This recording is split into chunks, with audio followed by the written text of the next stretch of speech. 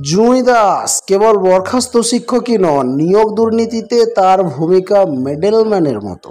সিবিআইয়ের দেওয়া চার্জশিটে উল্লেখ রয়েছে, এই জুঁই দাসের নাম।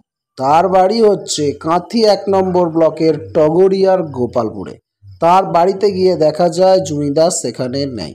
বাড়িতে রয়েছেন তার মা ও অসুস্থ স্বামী।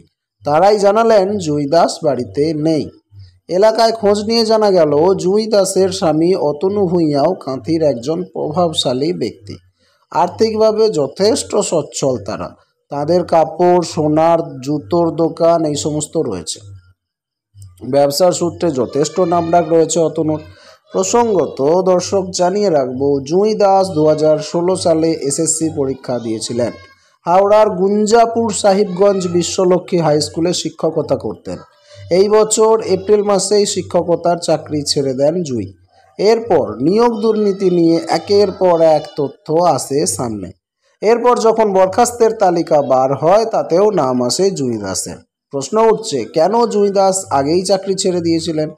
জুঁই দাস এখন আর কাঁথিতে থাকেন না, সেটা তার বাড়ির সদস্যরাই জানিয়ে দিয়েছেন। তবে কোথায় থাকেন সে? সে বিষয়ে স্পষ্ট করে আর কিছুই তারা বলেননি। এমনকি মুখে কুলু কেটেছেন পাড়া প্রতিবেশীরাও। তাদেরও দাবি, জুঁই তার স্বামীকে তারা বাড়িতে ঢুকতে বেরোতে দেখেন না। জুঁইয়ের স্বামী অতনু একটি বিশেষ রাজনৈতিক দলের সমর্থক বলেও জানা যাচ্ছে। দর্শক, জানিয়ে রাখব, নিয়োগ দুর্নীতি মামলায় চার্জশিট জমা দিয়েছে সিবিআই। তাতে রয়েছে এক ডজন নাম।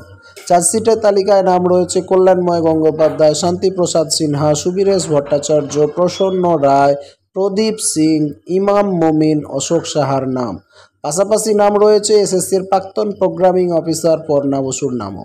নাম রয়েছে তিন বরখাস্ত শিক্ষকেরও। এই তালিকাতেই নাম রয়েছে কাঁথির জুই দাসের। তদন্তকারীদের দাবি, জুই দাস নিয়োগ দুর্নীতিতে মিডলম্যান হিসেবে কাজ করতেন এবং তারা বাড়ি ছেড়ে পালিয়ে গেছেন। পরবর্তী ক্ষেত্রে তাদেরকে জিজ্ঞাসাবাদ করা হলে কেউ কিছুই মুখ খুলতে চাইছে না। আপনারা হয়তো টিভিতে দেখে থাকবেন, টিভি নাইন বাংলার একজন সাংবাদিক গিয়েছিল জয়দাসের বাড়িতে খোঁজ করতে, কিন্তু বিশেষ কিছু তথ্য পাইনি পাড়া প্রতিবেশীরা সেটাই জানাচ্ছে যে তাদেরকে বাড়িতে আমরা দেখতে পাই না। পরবর্তী আপডেট পেতে চোখ রাখুন চ্যানেলে।